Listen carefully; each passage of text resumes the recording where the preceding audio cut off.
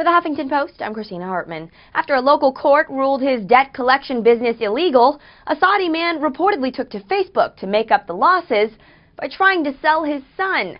WKMG explains. Yeah, get this. The asking price, $20 million. Nasser al-Shahry made the online offer after a Saudi court shut down his illegal debt collection company. Al-Shahry said he tried to do it to keep himself, his wife, and his daughter from living in poverty. And according to the Daily Mail, al-Shahry had said he was ready and willing to complete the sale procedures in court.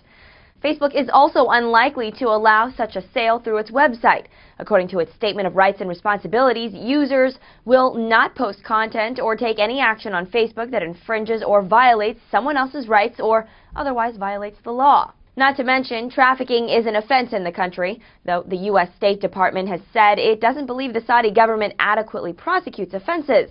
Then again, some aren't buying the proposed sale at all. Apparently, al-Shahry had appealed for official assistance from the Saudi Labor Office after his business was shut down.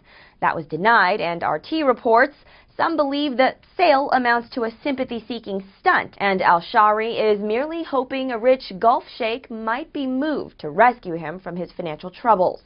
For the Huffington Post, I'm Christina Hartman.